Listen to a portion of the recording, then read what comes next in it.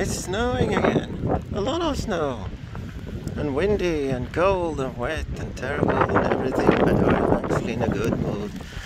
I finally solved the horrible kid problem. Imagine that, me! I solved it myself. I'm so happy about that.